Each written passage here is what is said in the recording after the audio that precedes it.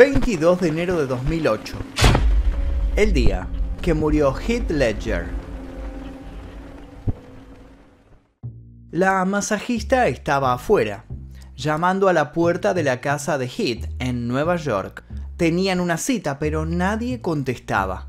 Tocaba el timbre, golpeaba la puerta y nada sucedía. Confundida, ya que Heath siempre avisaba cuando cancelaba una cita, se contacta con el ama de llaves, la señora Teresa Solomon. Vuelven a llamar y ante el silencio deciden entrar a la vivienda. Los primeros pasos fueron cautelosos, pero los llamados tímidos se transformaron en desgarros cuando encontraron a Heath Ledger desnudo, inconsciente en su cama, en una posición poco común. Sobre su mesa de luz había un frasco con pastillas desparramadas. Ambas mujeres llamaron al 911 y a una amiga de Heath, la actriz Mary Kate Olsen. Teresa siguió al teléfono junto a profesionales que la fueron guiando hasta que pudo establecer que Heath no respiraba. La masajista intentó hacerle RSP, pero no logró volverlo a la vida. La ambulancia llegó minutos más tarde, pero los somníferos que le permitieron vivir el último tiempo fueron los mismos que le quitaron el aliento, que lo durmieron para siempre. Heath Ledger, conocido mundialmente por su interpretación del Joker y su papel en El secreto en la montaña, perdió la vida el 22 de enero de 2008 a la edad de 28 años. Si bien hubo rumores de suicidio, se pudo constatar que la causa de su fallecimiento fue una sobredosis de somníferos. Las diferentes situaciones que le tocó atravesar sumado a la fama le estaban pesando demasiado y necesitó apagar esos demonios de a poco. Esa noche de enero los terminó asesinando. Están quienes dicen que la maldición del Joker se cobró una vida, y no es de extrañar porque ya habitó las mentes de aquellos que lo interpretaron pero en este caso se llevó la vida de un joven que era una estrella de Hollywood con todas las letras.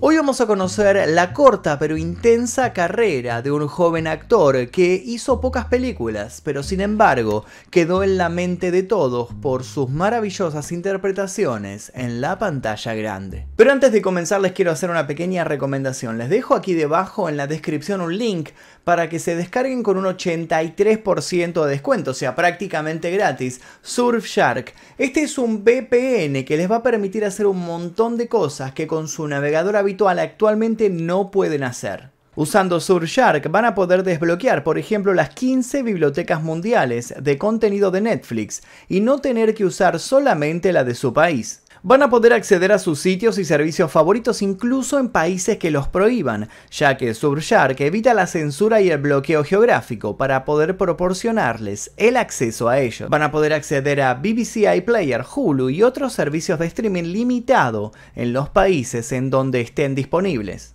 Además, van a poder proteger sus datos usando cifrado impenetrable y los protocolos más seguros. Van a poder superar la discriminación de precios basada en la ubicación de pasajes de avión y alquileres de vehículos conectándose a sus servidores VPN en diferentes países. Y además de esto hay un montón de beneficios más por descubrir. Van a ver que aquí debajo en la descripción hay un link para que se puedan descargar Surfshark con un 83% de descuento y con 4 meses gratis en un plan de 24 meses. Lo bajan del link de aquí debajo, lo instalan y después me cuentan qué tal les pareció. Ahora sí comencemos. Heath Ledger nació un 4 de abril de 1979 en Australia, en la ciudad de Perth. Su hermana mayor Kate esperaba su nacimiento junto a sus padres, Sally Ledger Bell, una maestra del idioma francés, y Kim, su padre, un reconocido ingeniero. La familia Ledger era muy conocida en la ciudad porque desde su bisabuelo Sir Frank Ledger manejaban una fundición que generaba gran parte de la materia prima para el famoso oleoducto de Perth. Sus estudios primarios los realizó en la escuela primaria Mary's Mount y luego asistió a la Guildford Grammar School. Allí, con tan solo 10 años, experimentó con la actuación interpretando a Peter Pan en un acto escolar. A la misma edad era considerado un gran jugador de ajedrez al ganar el campeonato infantil de Australia Occidental. Alrededor de sus 12 años transitó la separación de sus padres. Fue en ese momento cuando su hermana mayor Kate, quien ya era una actriz, lo incitó a que se dedicara a la actuación. Heath admiraba a Gene Kelly, un actor, un cantante y bailarín estadounidense muy conocido en su apogeo en la década del 50. Esa fue la inspiración que lo llevó a participar de un concurso escolar, y sería un camino que nunca más abandonaría. A sus 16 años dejó la escuela para dedicarse por completo a la actuación. En 1992, su mejor amigo desde la infancia, Trevor DiCarlo, lo acompañó hasta Sydney para que pudiera participar en un papel en Clowning Around. Luego siguió protagonizando diferentes series como Sweet en 1996, donde tuvo que actuar de un ciclista homosexual, en paralelo, desde 1993 hasta el 97, desempeñó papeles en series muy conocidas y exitosas en Australia, hasta que finalmente en el 97 hizo su debut cinematográfico en Black Rock, un drama que contó con cinco nominaciones a los Australian Film Institute Award, entre otros premios más. Sus interpretaciones eran de las más variadas, series cómicas australianas, películas dramáticas y cómicas como 10 razones para odiarte y series policíacas. Heath lograba ponerse en la piel del personaje y triunfaba desmedidamente en el ambiente. Para el año 2000, Heath Ledger cobraría una imagen más pública por apariciones en películas como El Patriota con Mel Gibson y su actuación en Monster Ball. Sin duda el salto a la fama de Heath Ledger estuvo vinculado a su actuación en Secreto en la Montaña, en donde interpretó a Ennis del Mar, un vaquero que tiene una relación homosexual con Jack Twist, protagonizado por Jay Gyllenhaal. Este papel le dio como fruto la nominación a los premios Globo de Oro por Mejor Actor Dramático y fue nominado a nada más ni nada menos que a un Oscar por esta interpretación. Con tan solo 26 años, fue reconocido por la crítica como un profesional que logró ponerse en la piel del personaje comparándolo con grandes como Marlon Brando y Sean Penn. El espectador podía leer en su actuación el verdadero sentimiento, supo realmente llevar dentro de él los detalles del personaje y compartirlos como suyos. Este joven actor finalmente estaba consagrado, pero el éxito recién comenzaba.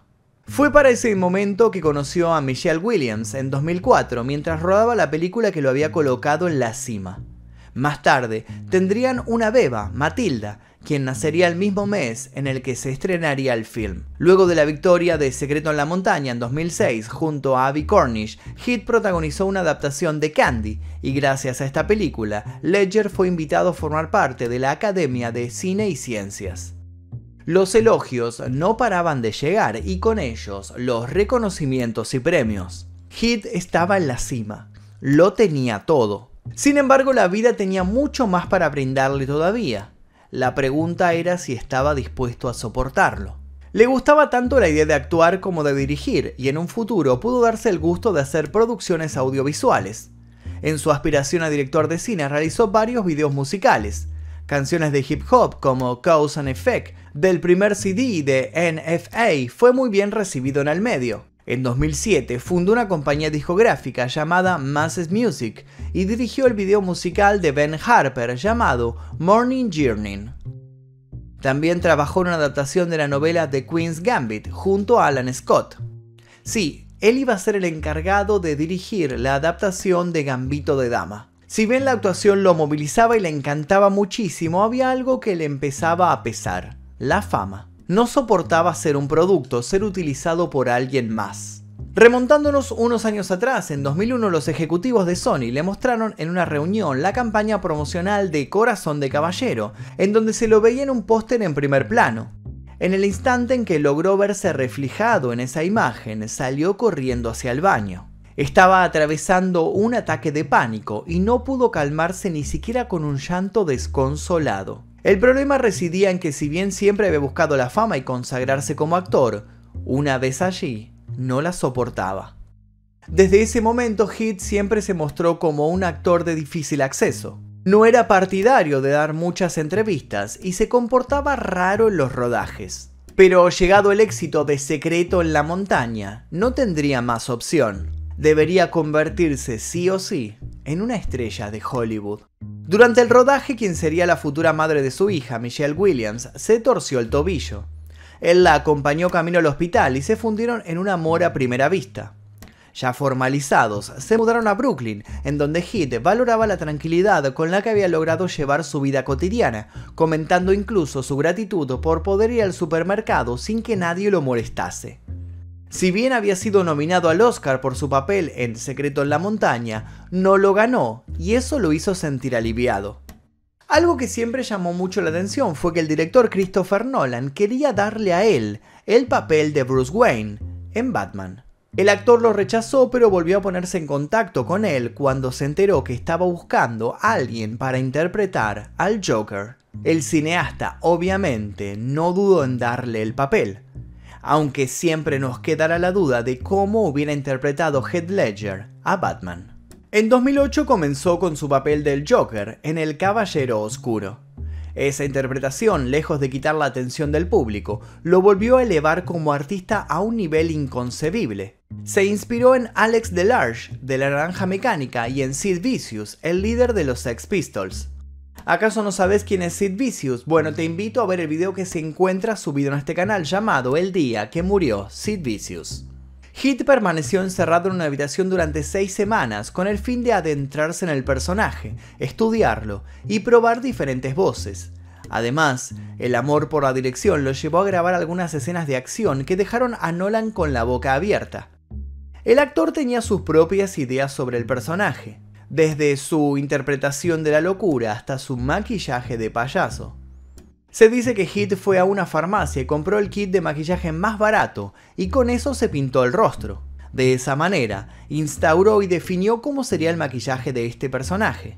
Luego, el staff de maquilladores solo tuvo que repetir su trabajo. Respecto a la sonrisa y las cicatrices que la expanden hacia los lados de la boca, estuvieron vinculadas a las pandillas de Glasgow, en Escocia. Entre grupos enemigos de la ciudad se cortaban con botellas rotas o cuchillos para proyectar una sonrisa, como se dice, de oreja a oreja a sus rivales.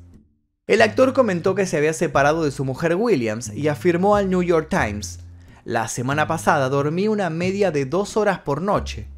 No podía parar de pensar. Mi cuerpo estaba exhausto y mi mente seguía funcionando.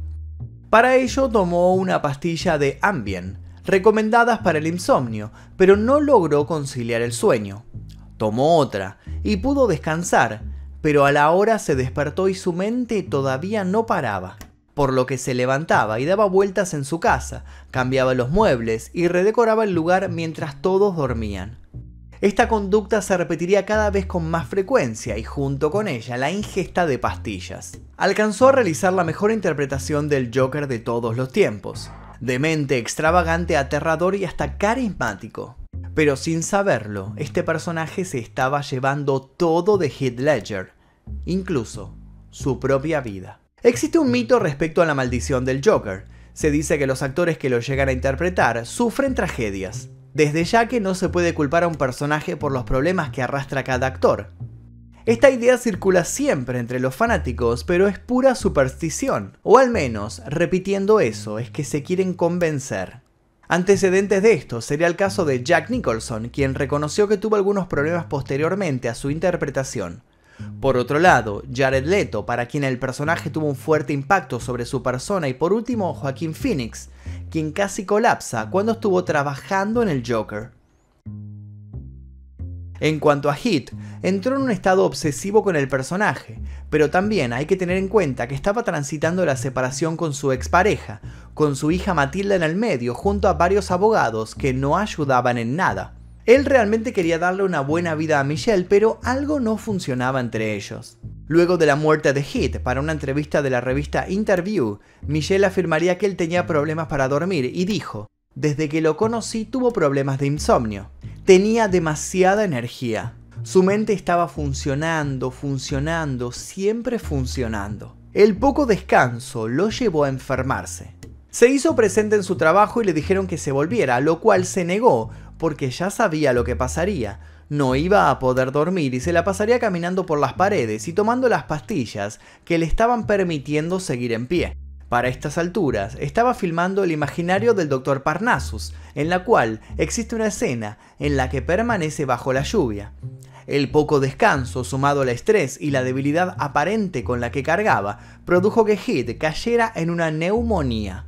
Esta complicación respiratoria llevó a Michelle a decidir que Matilda no lo visitaría en esas condiciones en Londres, por lo que Heath se quedó en su departamento en Nueva York para descansar y retomar el rodaje del Dr. Parnassus en Canadá.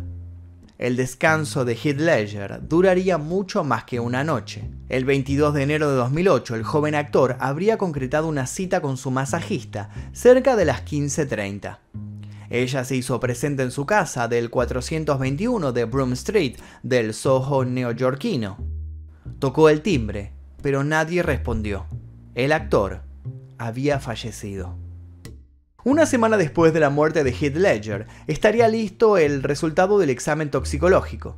La autopsia reveló que el joven había fallecido como resultado de una intoxicación aguda por los efectos combinados del diazepam y la doxilamina. Estos fármacos eran los que brindaron un poco de descanso en su mente tan alborotada, los benditos somníferos y se informó que la muerte había sido accidental por el hecho de abusarse en el consumo de estos psicofármacos. Luego de su muerte hubo varias especulaciones como que había consumido otras drogas además de los somníferos. Por otro lado, se dijo que la amiga Mary Kate Olsen le habría facilitado el acceso a las pastillas y de alguna manera también el acceso a su muerte. Pero finalmente para principios de agosto de 2008 el fiscal dio por cerrado el caso, cerrando así su investigación y dejando fuera de toda culpa a Olsen.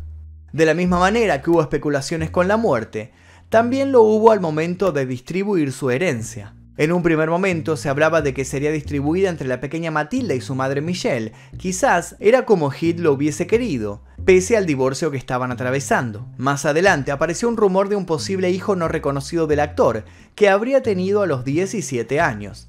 Matilda hubiera tenido que compartir la herencia con ese joven si se afirmaba que era su hijo, pero más tarde esa teoría fue desmentida. Había sido simplemente un invento de la familia Ledger. Finalmente, los familiares directos de Heath decidieron que lo mejor sería otorgarle a Matilda la fortuna de 16.3 millones de dólares. Para la fecha de su muerte, Heath se encontraba rodando El imaginario del Dr. Parnassus. La ausencia del actor en gran parte del film se completó a través de los efectos especiales.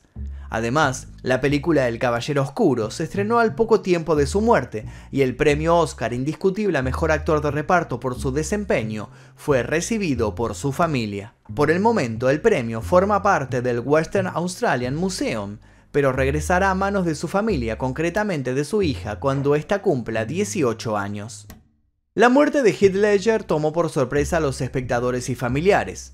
Luego de la noticia de su deceso, muchas personas fueron a dejarle flores a la puerta de su casa. Se realizaron varios tributos en su memoria y sus colegas mostraron un profundo dolor por la pérdida de un joven tan talentoso.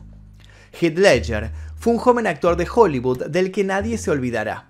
En sus cortos años en esta tierra, dejó más de 15 películas en las cuales se lo puede ver haciéndose carne de cada personaje que le tocó interpretar un ejemplo de profesionalismo al momento de ponerse en la piel del papel protagónico, y un ejemplo a su vez de hasta dónde puede llegar la obsesión por lo perfecto, la responsabilidad y el amor a lo que uno ama hacer. La delgada línea entre lo imaginario y lo real se desdibujó, y hoy solo quedan recuerdos. Y hasta aquí el video del día de hoy sobre la muerte de Heath Ledger, espero que les haya interesado, si les gustó les pido por favor que dejen su like aquí debajo, se suscriban si todavía no lo hicieron y activen notificaciones, además los invito a dejar un comentario para sugerir posibles futuros videos. También les dejo un par de sugerencias de videos para que sigan haciendo maratón en este canal, sin nada más que decir yo me despido, mi nombre es Magnus Mephisto y esto fue El Día Que...